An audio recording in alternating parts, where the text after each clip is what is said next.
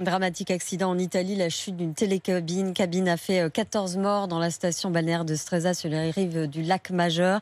Un câble a sans doute cédé. Il y a cinq Israéliens parmi les victimes. Le seul survivant est un enfant de 5 ans. Son pronostic vital est engagé. La mère de Stresa, Marcella Severino. Sono devastata. Je suis dévastée, jamais je n'aurais imaginé vivre une journée pareille.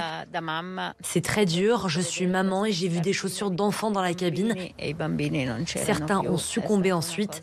C'est une chose vraiment terrible, toute la ville de Stresa est sous le choc. Pour nous, le téléphérique était un moyen de transport sûr. Le tourisme commençait à reprendre, cet accident est vraiment regrettable.